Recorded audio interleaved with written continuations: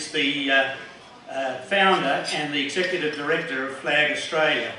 And uh, Peter is absolutely uh, dedicated to the fact that we in Australia need to have pure green foods uh, grown in Australia, particularly in South Australia where we're under pressure from the government, the, uh, the South Australian government.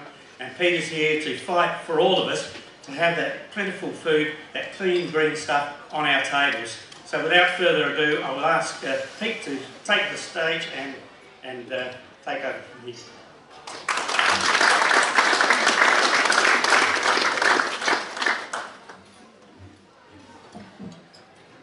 Thanks very much, Lindsay, and welcome you all, and thanks very much for coming.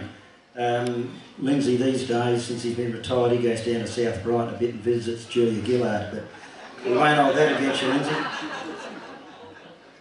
Um, a lot of people ask me, some of you might have heard this before, but a lot of people ask me, uh, just before I will start, I've got to have some manners here. I see uh, Brendan Hardman from the uh, Australian Defence Force Party here. Brendan, stand up. And uh, welcome, Brendan. Uh, I tell you now, mate, we, uh, we really appreciate what the veterans have done for this flaming country and the way they're being treated at the moment with closing the repat is absolutely disgusting, it really is. So uh, we'll keep fighting for them too, don't worry. So good on you, Brendan. I noticed uh, Richard Zachariah here tonight. Would you like to stand up, Richard? I'm sure uh, a lot of you would remember the home show that Richard and um, I'm allowed to say you've got a partner here tonight. Can I mention the other one yet? Uh, Chat Maggie Tabberer and uh, Richard used to do the home show in Sydney and that was a great show. But Richard is leading the charge in Victor Harbor uh, because in Victor Harbor Mr John Rau wants to do an out-of-town retail development like he wanted to do in Strathalbyn and Richard's leading the charge to uh, uh, try and stop that development which will absolutely destroy the town centre of Victor Harbor. So good on you. I just briefly, just what FLAG FLAG's about. Uh, FLAG stands for Food Producers Landowners Action Group Australia, and uh, food producers and landowner. Landowner is anybody with a house. That's anybody in the city because you all pay a natural resource management levy on your rates. And what this Natural Resource Management Board is doing to us farmers, they're coming for you, don't worry, because they're trying to control our lives and they'll try and control yours. So look out for that one. But uh, what FLAG is about, we're just, as Lindsay briefly said, we're about going about our business, running our farms, caring for the environment and growing clean, healthy food for South Australia, Australia and the export market. And uh, when we look at our biggest money earner in this country is agriculture. It puts $155 billion a year into the Australian economy. And what have we got? If we look back over the years, the Liberal and Labor government, have a look where we are. We've got our biggest money earner being sold to overseas government investors and corporations. And I just can't believe that we've got a situation where, you know, they call it foreign investment. Uh, why would you sell your cash cow? Why would you sell your agricultural land and these people come over and buy it grow the food, sending it back to their country and don't pay any tax. I just cannot, as a businessman myself, I cannot see how that is going to benefit this country. We are already net food importers on seafood and fruit and vegetables. Now I can tell you now, if we can't supply ourselves with food, that puts us in a very vulnerable and dangerous situation.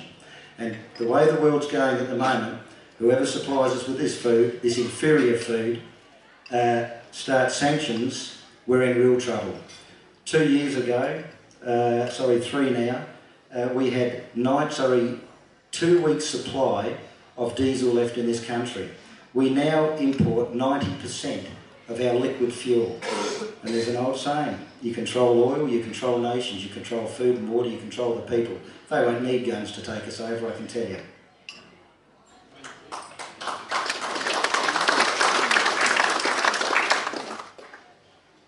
I'm getting sick and tired of hearing these politicians talk about the lucky country. Well, I'm sorry, we're not the lucky country. We might be lucky compared to Afghanistan, Iraq, Syria, and all the rest of it. But a lucky country, their manufacturing's booming, their industry's booming, and their agriculture is booming. But I'm afraid our manufacturing's gone, our industry's gone, and now, through this environmental movement, the Natural Resource Management Board, the restrictions that are being put on us mum and dad farmers uh, is absolutely ridiculous. Restricting our water use, no more dams because of our precious resource water. Well, that's unreal because in the last few weeks we've got a situation where there's an exploration licence uh, being granted uh, for Macclesfield Yandam gold mines, 56 square kilometres. How much water are they going to use? And yet we're being strict, restricted and we're growing a critical need. And what is it going to do to the landscape?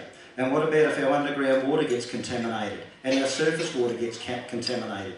Where in the hell is this NRM board supposed to be looking after the environment? No, look, I'm sorry, they're not an environmental movement, they're a mob of and we are being run by a communist blasted party in this state. This Labor government is disgraceful what they're doing. Their cons consultation is up the creek. They couldn't give a stuff about consultation. It's dictatorship at its best. And if we have a look, as I just mentioned, about the REPAT hospital, you know, the REPAT, the veterans had 120,000 signatures. They just ignored it. Absolutely ignored it. Flag Australia down in front of Parliament House every Monday gaining signatures opposing this right to take water levy on our farms. And we've got nearly 4,000 signatures now opposing this right to take water and they're mainly from city people. I'll never forget, I was having a chat with Isobel Redmond, haven't seen her lately either. Um, and she said, oh look, you've got to get the city people on board.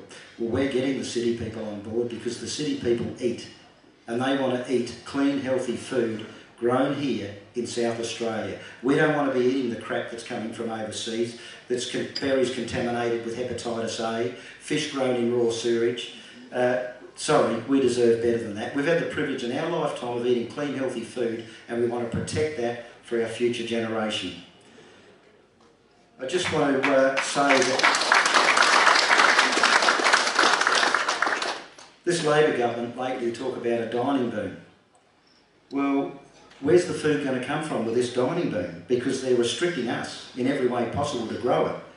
Uh, and uh, they're going to approve this mine. I mean, the dining boom, yes, but the food will be coming from overseas, and that doesn't benefit this country. And if mum and dad farmers are allowed to farm, we will create the jobs, don't worry about that. But at the moment, with the restrictions that are put, on, put, on, put upon us, sorry, you know, we've got earth movers that can't come onto your farm and do another dam or, uh, you know, do something without, there's got to be an application. Seven applications to put a pipe in a waterway because it's a, an effective, sorry, a water affecting activity. This sort of rubbish has got to stop. And it's serious stuff. I wouldn't be here wasting five years of my life warning people what is going on. I've got other things I want to do. But I'm afraid I can tell you now, if we don't stand up and be united, well, we're being shafted big time. And they're bringing it in very, very quickly, I can tell you. I mean, uh, we have a look at a situation where uh, about four years ago, a uh, farmer rang me up and he said, um, the NRM have estimated my dam at X amount of meg, I just can't remember what it was. And I said, well, look, what about getting your dam accurately measured? Get a water surveyor. He said, I can't afford it. So Flag Australia put up the money, thousands it cost us, put up the money, we got this dam accurately measured, and the good old NRM were a million gallons out. Overestimated the water in this dam a million gallons. This is the sort of rubbish that we're putting up with. The flag money, your subscription money, what it does, We've just donated recently $1,000 to the Royal Flying Doctor Service. We donated $1,000 to the Tyler family who want people to have access to raw milk. Uh, whether you like raw milk or what, that's not the point. The point is you should have freedom of choice. And this is what they're taking away from us, our freedom of choice and our freedom of speech.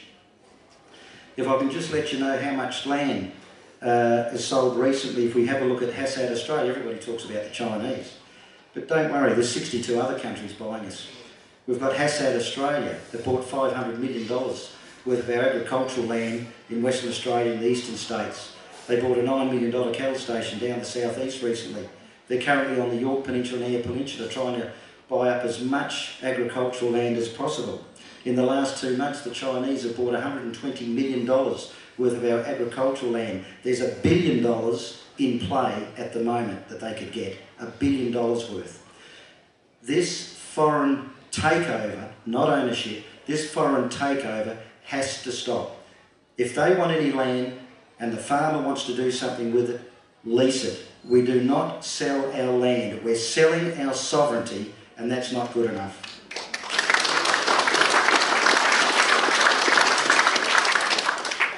I mean, I'm getting sick and tired of these politicians. They get up and they rave on, and you know they're only career blokes anyway, most of them. But um, you know they talk about jobs. I remember Tony Abbott raving on about jobs, and you know what's his name, the other one over there, short and whatever his name is. Um, you know, raving on about jobs. We're going to create jobs. Well, how are they going to create these jobs? I'll tell you how you create jobs. We've got a we've got a, a rabbit industry that we're poisoning rabbits, poisoning these rabbits. Hang on how about subsidising bullets for shooters to go out and shoot these rabbits? It's low in cholesterol, high in protein, and we can use the bloody pelts so R.M. Williams can make Akubra hats. But no, what are we doing? We're poisoning rabbits and we're importing flaming pelts from India. They're good business people.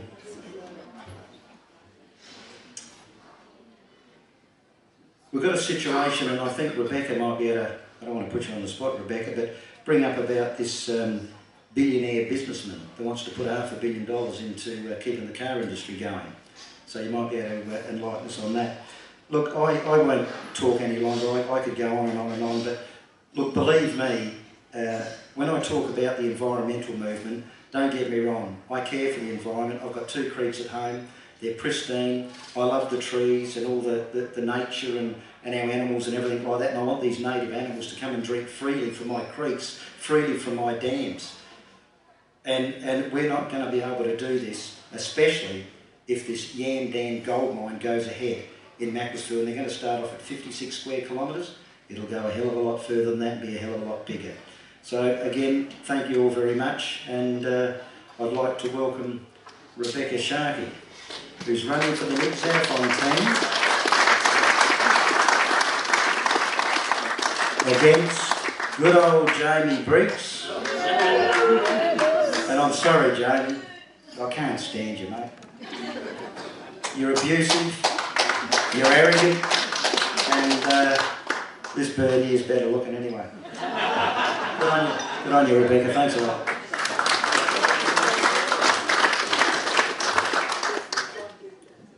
Now, I'm not as tall as Peter, so I'll just um, lower mic. Well, good evening.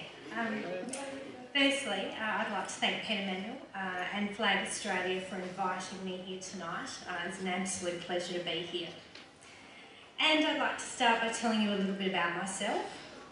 As Peter mentioned, I am the Nick Xenophon uh, team candidate for Mayo, and I've lived in Mayo for nearly 20 years.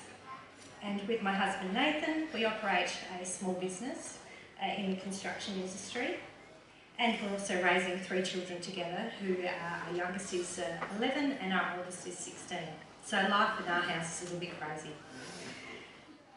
So aside from uh, supporting Nathan with the operation of our business, I also work uh, on a contract, writing youth policy, and I've spent the last four years in the executive management in the youth sector, primarily focusing on ensuring young people successfully transition from school into employment. I'm a firm believer that if the first experience a young person has in entering the workforce is joining the unemployment queue, then we as a country have failed them. I live in the north of the electorate, in the Torrens Valley area, and I'm involved in a number of organisations in my community, including being chair of the uh, Mount Torrens Soldiers Memorial Hall. I think in its 100 year history I'm actually the first woman chair. Be exciting. My contact with Nick Xenophon started in early uh, 2014 when the program I was a National Executive Officer for, uh, called Youth Connections, faced defunding by the federal government. And I was particularly frustrated that while youth unemployment was increasing, the only federal government program that worked with 30,000 of Australia's most disengaged young people was facing the axe. And Nick was not on the committee himself, um, but he worked with his Senate colleagues to enable me to present to the Senate Select Committee on the Abbott government's proposed budget for 2014. And I was particularly struck by Nick's passion for South Australia and how, like me, he sees enormous potential for South Australia, not just negative headlines, that we're the worst unemployment state uh, rate in Australia, but we're the Rust Belt, as we're sometimes unkindly referred to. I talked to Nick about the lack of vision I was seeing from our federal members of parliament, that we'd moved away from long-term planning for our nation to a three-year election cycle of policy planning, to bite-sized sound bites that sound good in the media, three-word slogans, and that now more than ever we need long-term planning, sensible, cautious, intelligent planning for Australia, and particular for South Australia's long-term prosperity. I shared with Nick that I felt that our nation's parliament should be a contest of ideas, a place where there was a true representation for members to bring to the parliament the views of their electorate and where they, as the elected member, would contribute to the national debate for the betterment of their electorate, not their donors, not their party. And I complained about um, the long-term vision for the benefit of the people of Australia.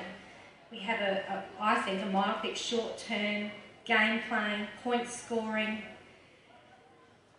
to see between two major parties who represent, who are our representatives, are largely career politicians who have never had a real job outside of the party. And so it's this long-term vision that gave us superannuation. It gave us the universal healthcare that we all enjoy. It was this long-term vision that had um, the floating of the Australian dollar, and under Howard Costello, the Future Fund. And this is what I think we are missing. And so, to cut a long story short, fortunately Nick Xenophon didn't think I was crazy, although I was chatting with him about it today and he thinks that um, he's a little bit crazy and I'm a little bit crazy. And uh, instead suggested that I consider standing for the seat of Mayo, where I love. So what followed after that was essentially a year-long job interview where collectively as a team we've worked together to develop our policies and I had to prove that I was worthy to be a candidate on our team and for Mayo. The Nick Xenophon team is based on three key principles. We are anti-predatory gambling. This has been a platform that Nick has carried since he first entered state politics in the 1990s. We believe in transparency in government, and this includes all facets of government, and political parties and extends to parliamentary entitlements and to political party donations. We believe every dollar paid by the Australian taxpayer should be accounted for in a timely manner. And finally, we believe in Australian made, and I think this is our most important principle. We believe we make the best, we grow the best, and so we should support our own industries to flourish.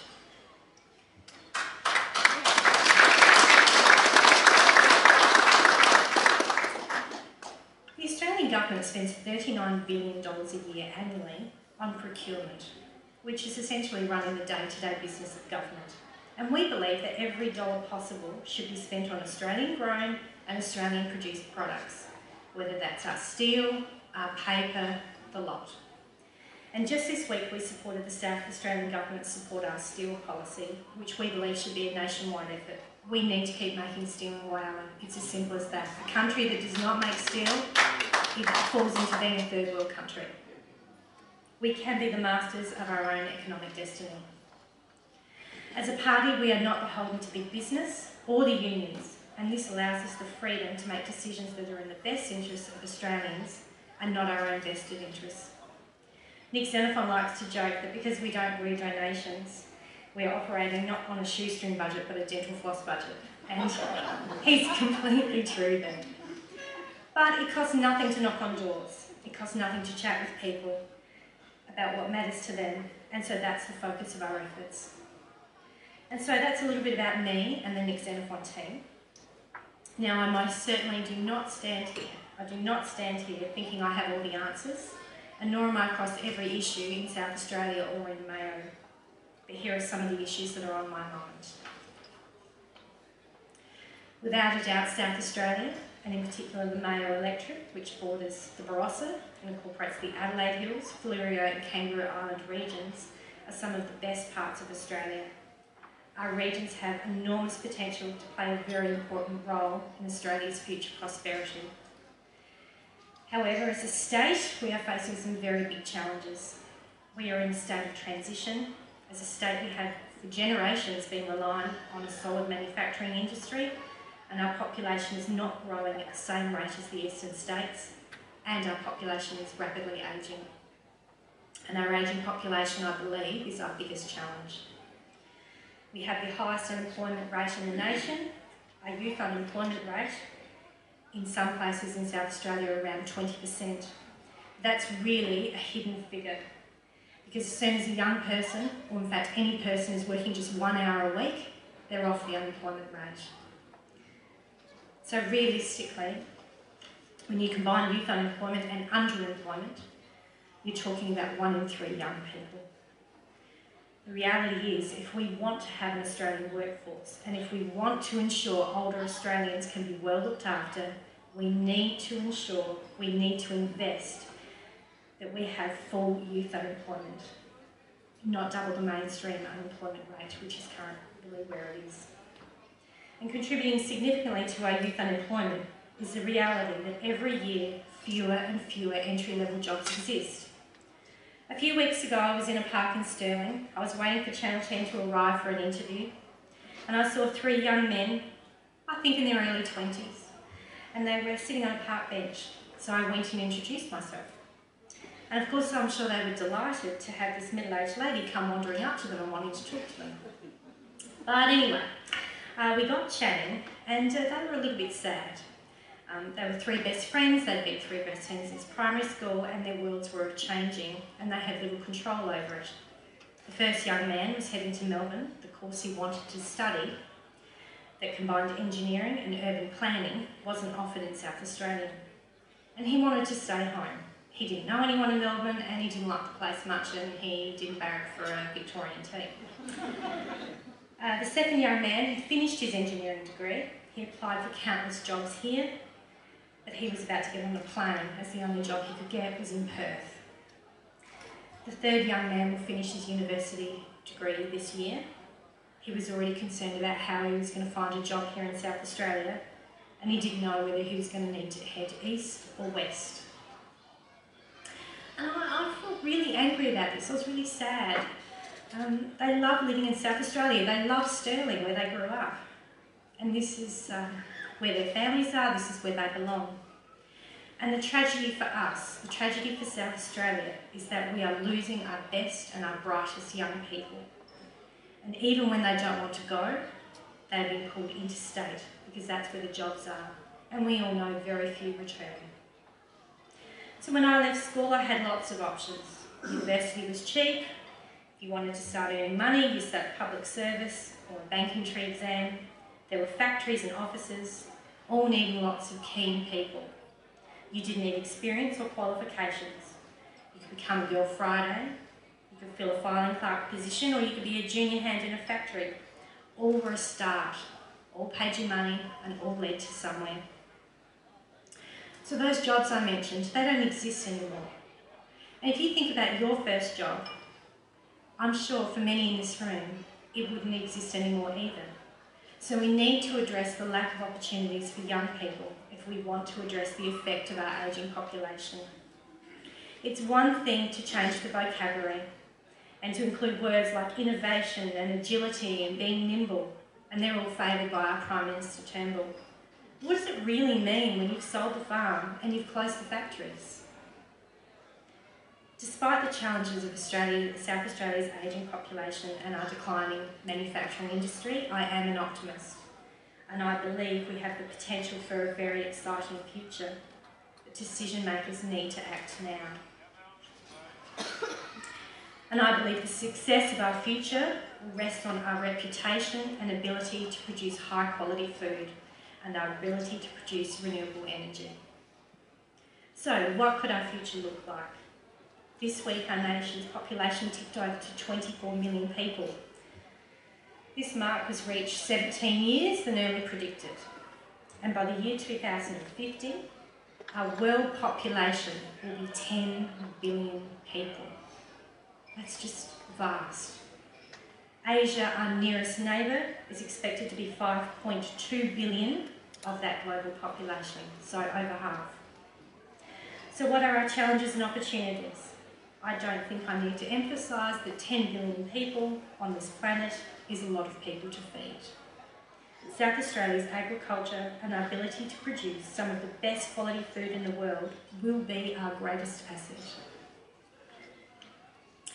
In South Australia, our agricultural industry has been overshadowed by mining, and it's worth noting that in 2015, just 12,700 people in South Australia employed in the mining industry compared to over 40,000 in agriculture, forestry, and our fishing industry. And predominantly, the majority of those people were employed in the agricultural and primary production. Nationally, in 2012, the National Farmers Federation stated there were 134,000 farm businesses in Australia, and that each farmer produces enough food to feed 600 people, 150 at home, and 450 overseas. Australian farmers produce almost 93% of Australia's daily domestic food supply. Australian farmers export around 60% of what they grow and produce, and in 2010-11, our farm experts, exports earned our country $33 billion. I think that deserves a round of applause.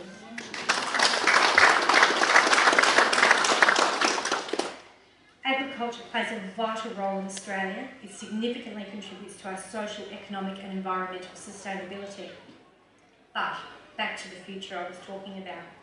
With a global population of 10 billion people and projected national population of 42 million, what will South Australia look like in 2050? And so we need to look at our ABS stats to, uh, to give us a bit of a picture. If we go back a decade to 2007, Australia had a population of 14.5 million. People were aged less than 50 years, and only 1.6 of the population was aged 85 years or over. In the year 2050, that percentage of 1.5 is expected to increase to nearly 7%.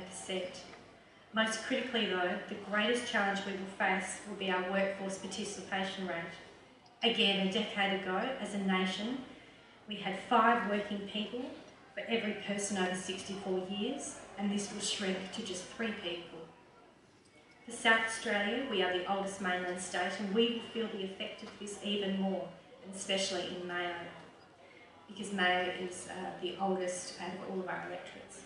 Victor Harbor is the state's largest town, is our uh, largest town with a population of over 75 years, Goolwa and Mount Barker are also in the top 10 of the oldest townships. And I think it's worth pointing out here that while we have high quality food and water, our, farm pop our farmers' population is also ageing. Australian farmers are considerably older than other workers. In 2011, the median age of farmers was 53 years, and just 13% of farmers were aged 35 years or younger. So we need to ensure, ensure as an industry it is attractive for young people to enter primary production. We need to ensure there are entry points for young people to build primary production businesses and that they are rewarded for the work that they do and they have surety of the ability to farm in the future and this most importantly is the ability to access water. I would like to see the Turnbull Government's ideas boom have a regional rural focus I believe there's great scope, particularly for young people, to develop new businesses in farming and food production. The challenge of our agricultural industry and indeed farmers will be to meet the booming need for food both in Australia and globally. Naturally, the expected increase of Australia's population will put greater pressure on the encroachment of arable land by urban sprawl and competing demand for water. Our policymakers need to ensure that the policies that they implement support our primary production industry and not make it harder to remain on the land. With a growing, growing, sorry, with a growing global population, and as developing nations become wealthier with an emerging middle class, we will also face the increasing pressures that Peter talked about of foreign ownership of our most arable land. The rest of the world will be looking to feed its own countries, and the investment in Australian farmland has, considered, has increased considerably in the last decade. Essentially, they will want our farmland. There's no doubt about it. Until recently, the Foreign Investment Review Board threshold was set at $249 million. This has been lowered to 15 million um, before the board needs to approve the sale of a property. We believe the threshold is too high and is a failure to protect our sovereignty.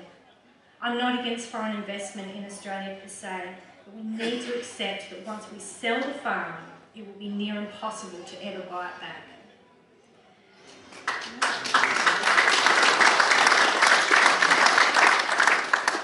So Nick Xenophon has been very vocal on this issue and he's moved amendments to the bill that would see scrutiny of foreign ownership step in at agricultural land purchases valued at $5 million. Nick Xenophon has referred to the Senate, in the Senate, to the New Zealand Framework for Foreign Investment Review, which is efficient and clear. The New Zealand model includes a number of set criteria for national interest to take into account and the purchase effect on jobs, technology transfer, transfers, and what the impact will be on the market and the sector more widely. In New Zealand, the national interest test is applied to every prospective foreign investment or ownership sale where the property exceeds five hectares of non-urban land. It's quite different to us, isn't it? There is no doubt that as our world population increases, the interest and pressure of foreign ownership on our best land will increase. And I would like us to consider a further safeguard which would provide a 90-day window for agricultural sales to prospective foreign investors to allow a majority Australian-owned business or individual to find the funds to match the sale. A prospective sale would need to be advertised in public notices so that we know about it. Because what's happening now is we're finding out after the event that a property sold to China, that it's sold to Malaysia, etc. By placing the impending sale in public notice and giving a 90, 90 day hold to arrange a domestic sale, we will give the best opportunity of prime agricultural land remaining in Australian hands. And this will ensure we have the ability to reap the rewards of sharing our produce with the rest of the world and ourselves for generations to come. So in closing, we face great challenges, but also great opportunity. We need that opportunity to be seized by decision makers who will consider the needs of South Australia first, not their faction, not their party, not their donors. And I'm honoured to be part of the Nick Xenophon team, as I believe if we have, if we are supported by the people of South Australia, the ability for us to demand South Australia to be counted in Canberra will happen. And we can no longer rely on the politics of the past to set a pathway for our future. Thank you.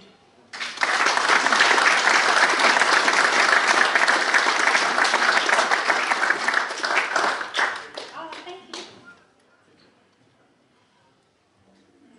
thank you very much, Rebekha, and uh, that was pretty informative. And uh, you reckon you were going to speak for five minutes? Good. Not bad. uh, Rebekha, I, I think uh, if Nick Xenophon team could really look at a right to farm bill. Uh, that's that's what we need. We've got a situation. Sorry, we've got a situation where you know we've got people coming up from town buying you know these subdivisions going on and all the rest of it, and all of a sudden you know we might be weaning our calves, and somebody says, "Oh, these poor flaming calves," you know this morning. Well, it goes on for three or four days, and that's what we do. Well, we might be want to be cutting hay at one or two o'clock in the morning. It was too hot during the day. We need protection to be able to grow this food. Otherwise, we're not going to be able to do it.